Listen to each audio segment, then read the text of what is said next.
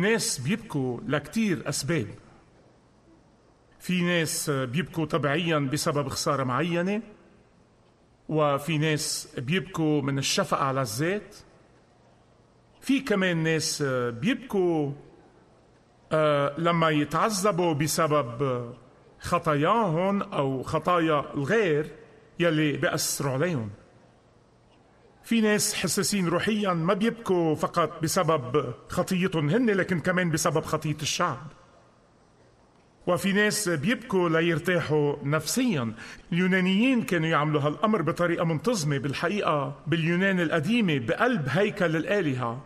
كان في مذبح مكرس للدموع وما كان يتقدم ذبايح أبدا على هذا المذبح ولا تقديمات.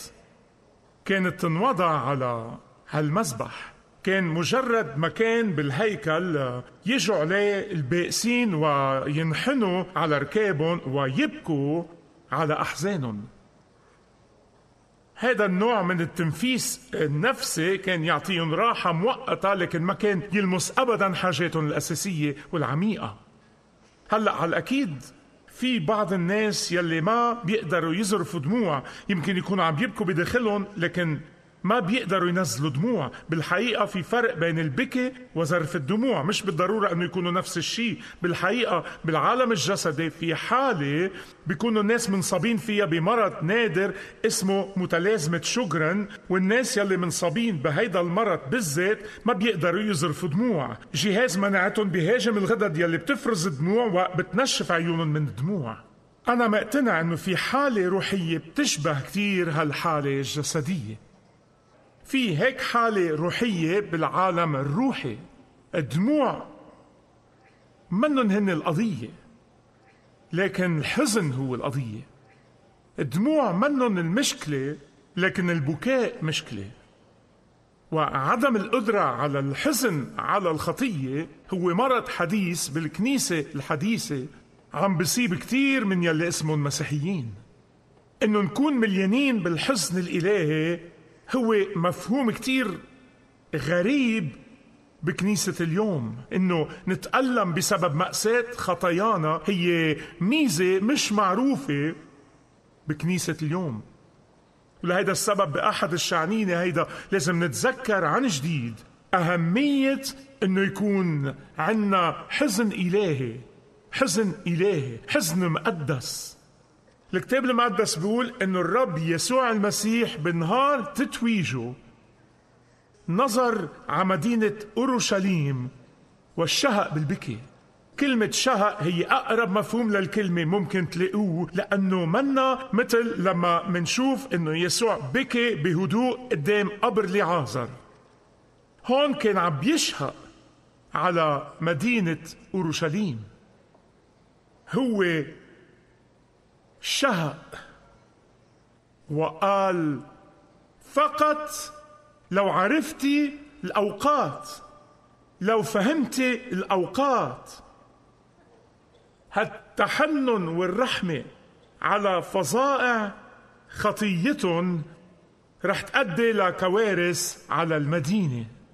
حزنه على كبريائهم وبرهم الذاتي بالواقع خليه يشهق حزنه على تعصبهم الديني الأعمى. خلي يشهق آه، ألمه على رفضهم لإله كالحقيقة الحقيقة الكاملة ومشي غير الحقيقة. خلي يشهق ويمكن تفكروا إنه من بين كل الأيام من بين كل الأيام بهالنهار يلي كان الكل عم يحتفلوا فيه الكل كانوا عم بيقضوا وقت ممتع.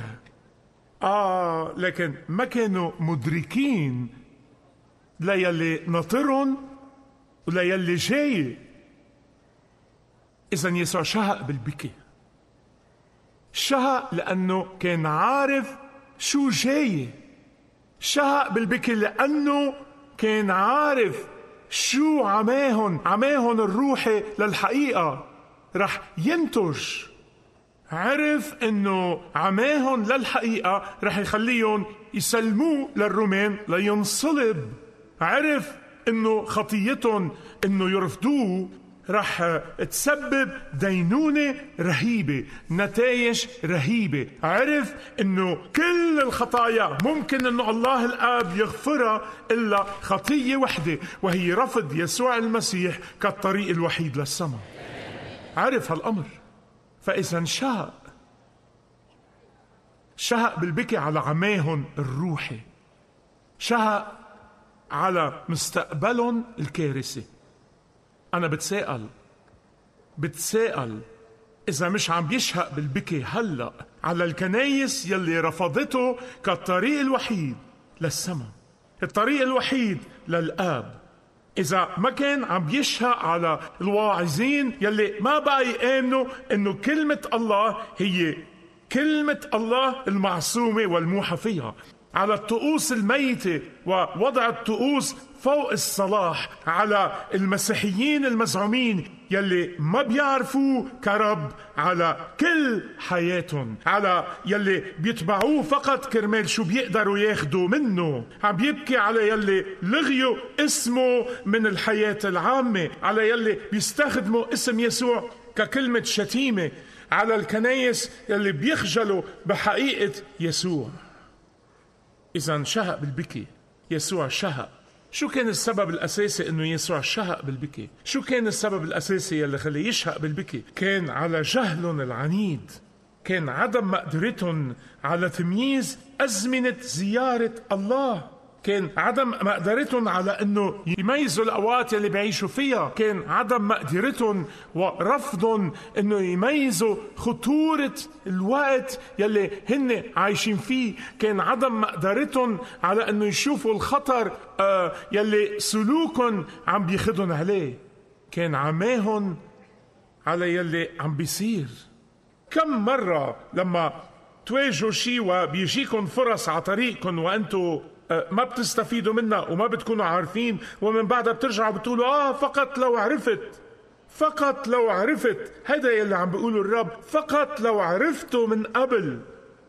لو فهمتوا إنه هو الوحيد يلي باركنا كشعب.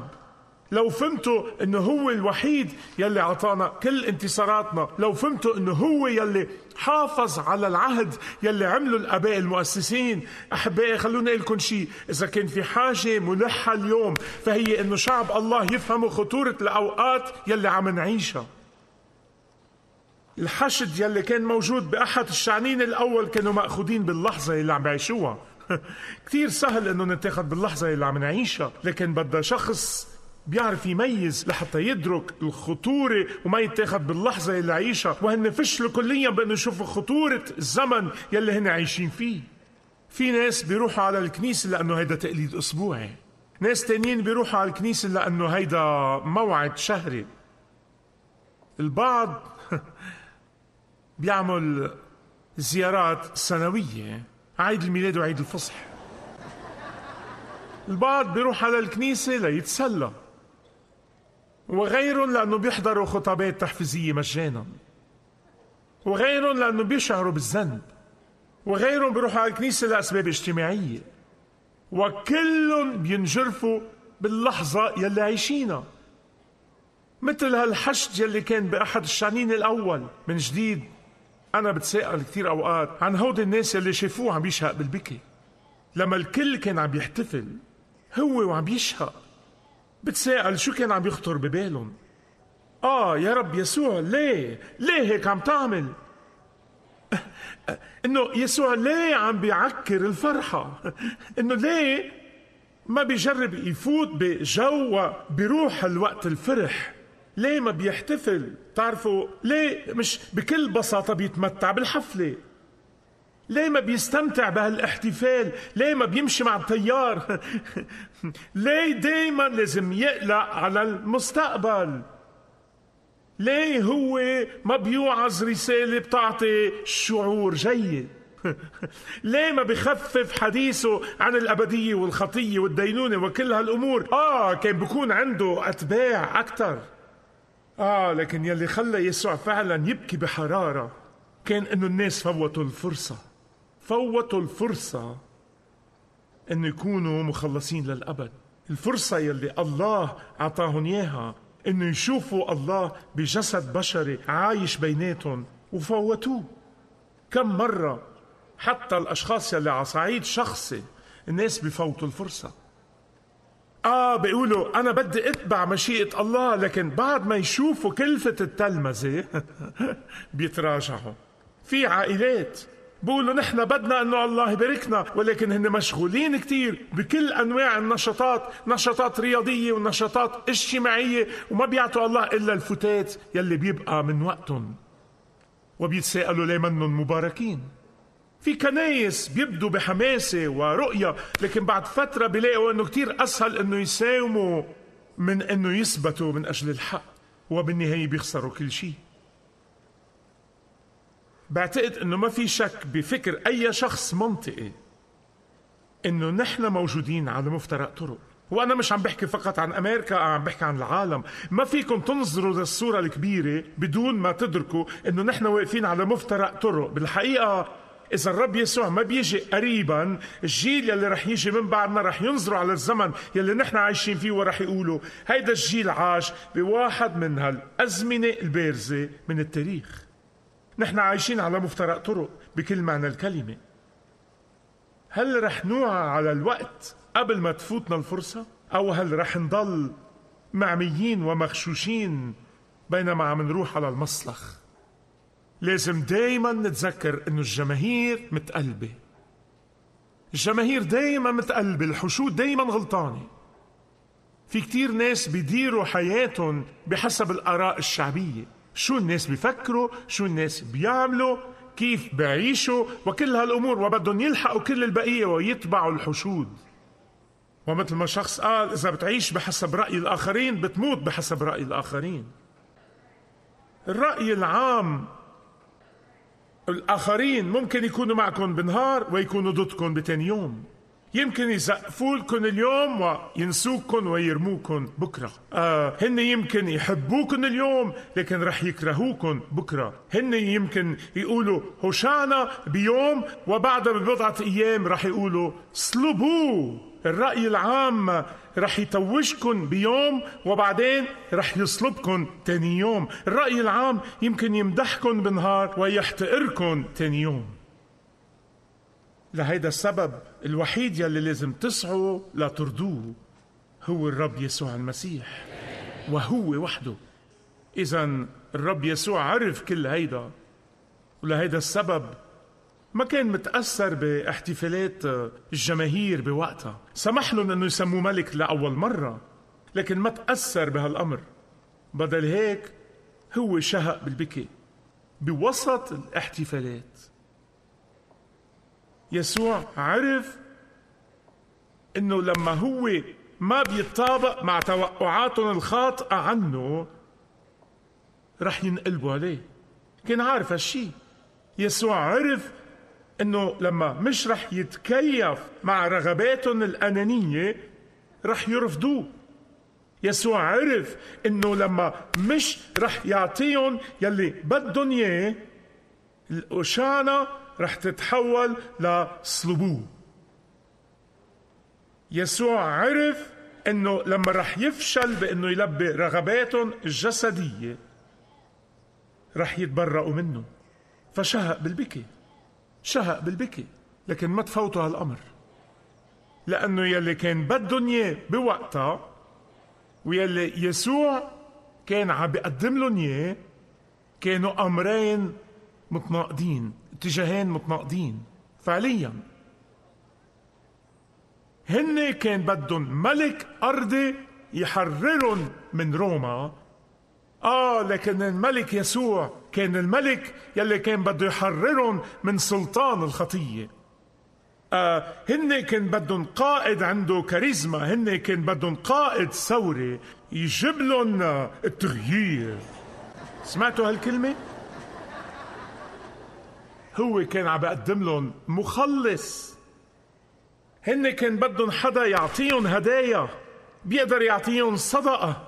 لكن هو كان عم بيعطيهم هدية الحياة الأبدية. كانوا عم بفتشوا على تغيير سياسي لكن هو كان عم بيعطيهم تغيير الحياة تغيير بالاتجاه من الاتجاه لجهنم للاتجاه للسماء. هن كان بدهم الحرية من ضغينة الصعوبة الاقتصادية اللي كانت بوقتها لكن هو كان بده يعطيهم الحرية من ضغينة الخطية وعواقب الخطية.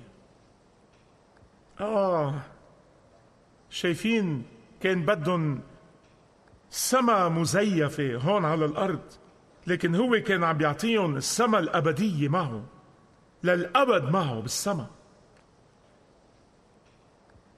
إذا لما ما تمت توقعاتهم انقلبوا عليه. نحن شعب الله يلي بياخد سلطان كلمة الله بجدية تامة لدرجة إنه ما في علينا سلطة غير يسوع وكلمته.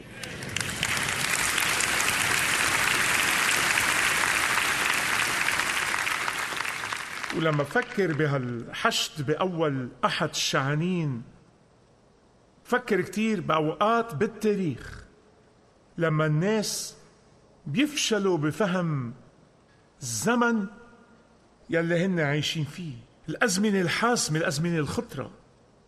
بسنة 1917 لما كانت الثورة البولشفية محتدة على طرقات موسكو الدم كان ملا الطرقات وبهيدا الوقت بالذات الاجتماع السنوي للكنيسة الروسية الأرثوذكسية كان منعقد كانوا عم يتشاوروا. هالأساقفة سافروا من كل روسيا للسينودوس السنوي؟ لا ما كانوا عم بيصلوا. ما كانوا عم يدرسوا الكتاب المقدس. ما كانوا عم بفتشوا على الحكمة ليقدروا يتعاملوا مع هيدا الظرف. كانوا عم بيتناقشوا بألوان تياب الكهنة.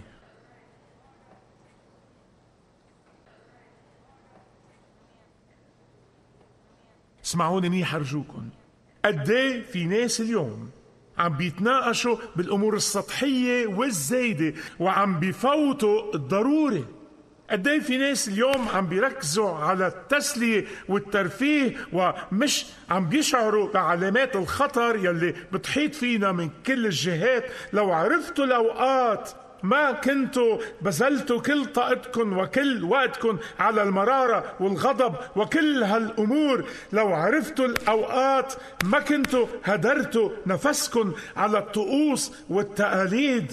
لو عرفتوا الأوقات كنتوا اهتميتوا بالأهم وقللتوا من شأن الغير مهم. لو عرفتوا الأوقات السبب إنه يسوع شهق بالبكي. هو لأنه كان بيعرف خطورة الوضع. بمعرفته الغير محدودة شاف الدينونة القادمة. بكل قدرته هو أدرك الكارثة يلي جاية يلي ناتجة من رفض لإله كالطريق الوحيد للآب الطريق الوحيد للسماء المسيا الوحيد يلي ناطرينه بفارغ الصبر. وبكل تأكيد بعد 37 سنة تقريبا شايفين الله صبور الله كتير صبور. لكن مثل ما قال بولس ما تسيقوا تفسير صبره وتفكروا إنه ما بيهتم. صبره هو طريقة ليقول فيها أنا بحبكم أنا عم بواظب معكم أنا عم بدعيكم أنا عم بحكيكم من خلال أصدقائكم من خلال جيرانكم من خلال الواعظين من خلال الكتب من خلال التلفزيون فعلا. أنا كثير صبور معكم ويسوع كان صبور معهم وأعطاهم فرص أكثر وأكثر لما تلاميذه ابتدت أعدادهم تتزايد وابتدوا يبشروا بالإنجيل بكل اليهودية وبعدين بالسامرة وبعدها لأقاصي الأرض. لكن بعدين حوالي سنة سبعين بعد المسيح كل شيء تنبأ فيه يسوع بهالوقت صار حرفيا. وما بقي حجر على حجر. ونحن ما عم نحكي عن حجارة صغيرة. هودي حجارة عملاقة بأورشليم. يلي سافروا منكم لهونيك شافون. الرومان إجوا وهدموا المدينة. بقولها وقلبي مليان حزن. مؤخرا كنا عم ندرس تسالونيك الثانية وشفنا كيف الرسول بولس بيقول إنه بآخر الأزمنة الكابح الروح القدس رح يبتدي يسحب حضوره. مش من حياة المؤمنين هو رح يضل بالمؤمنين. لكن قوة حمايته يلي كانت عم تحمينا كدولة كشعب حمايته وقوته ككابح الشر قوته بالتبكيت رح تبتدي تتراجع. ولما هالأمر يحدث روح الفوضى والتمرد رح يجي وياخد مطرحه. أنا عم بقرأ بتأملاتي الخاصة باليومين الماضيين كيف لما الملك شاول أول ملك على إسرائيل لما روح الله تركه بسبب خطاياه إجا روح شرير وعذبه. أحبائي ما في أرض على الحياد. إما بيكون عندكم روح الله بقلبكم أو بيكون عندكم روح شريرة بقلبكم وأنا بصلي إنه ما حدا موجود هون اليوم أو عم بيشاهد حول العالم ما يكون عم بيقول روح الله القدوس. تعوس كون فيي إذا ما كان بقلبكم من قبل. ما في أراضي على الحياد.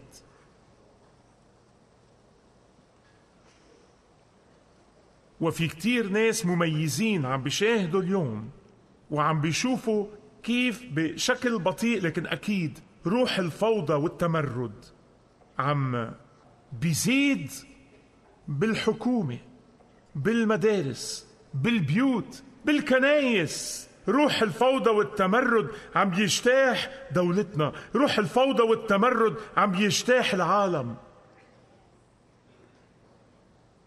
لو فقط عرفتوا الأوقات. بصلي إنه ما حدا يكون عم يسمع صوتي. ويدير دينته طرشة. ليلي عم بيقولوا إلنا الروح القدس وكلمة الله. هودي منن كلماتي هودي كلمات يسوع. ما في أي شخص موجود هون اليوم بالصدفة أو بسبب الحظ. أنتوا هون بسبب موعد إلهي والله تكلم معكم استجيبوا. ما تتجاهلوه. ما بتعرفوا إذا رح يكون عندكم فرصة تانية لتستجيبوا لدعوته الرؤوفة لو عرفتوا الأوقات أنا بصلي إنه تعرفوا الأوقات.